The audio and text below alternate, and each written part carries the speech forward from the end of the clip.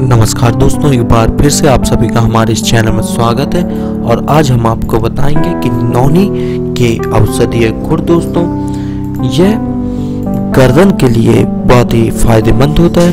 शुरुआती शोध से पता चलता है कि चार सप्ताह के लिए फिजियोथेरेपी में भाग लेने के दौरान नौनी का जूस लेना गर्दन के दर्द को कम कर सकता है और फिजियोथेरेपी की तुलना में गर्दन के लचीलेपन में सुधार कर सकता है। हालाँकि फिजियोथेरेपी उपचार से आपको मदद या दर्द में राहत मिल सकती है।